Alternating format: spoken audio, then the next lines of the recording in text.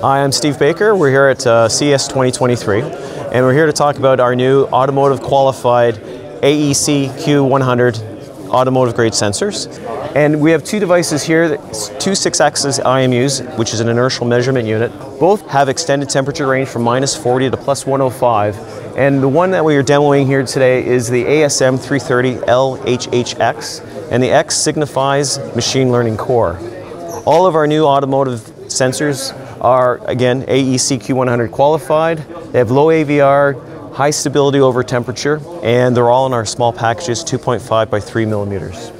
Uh, one of the key features is the fact when they're running with uh, machine learning core, they're not using the main microcontroller and are very ultra low power consumption.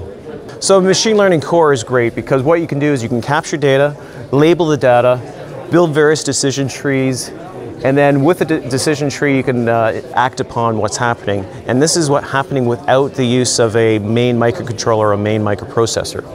What we have here is a demonstration of our, of our uh, IMU running in the background, and you can see the accelerometer and the gyroscope, which is, which is moving and functioning at the moment. We have created this little box that shows what's happening with the unit, with the truck, and um, our demo here shows that we can, uh, if someone's trying to jack your truck up, it's actually showing that it's, it's, uh, it's being jacked up, and all this is happening without the use of a microcontroller.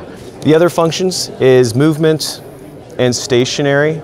And again, it's not using the microcontroller, it's there to lower the overall system power consumption and add extra functions to, uh, to the design. Go to www.st.com slash MEMS for more information on our IMUs with MLC, Machine Learning Core.